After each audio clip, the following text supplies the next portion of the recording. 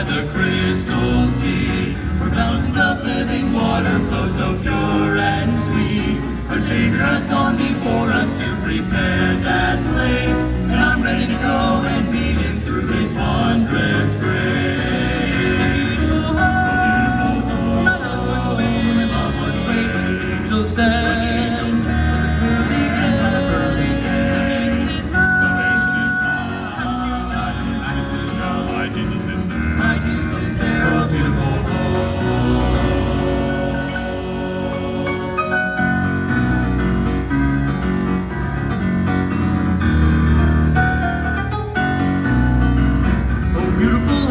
splendor with its golden streets, where sorrow and death have ended and our joys complete.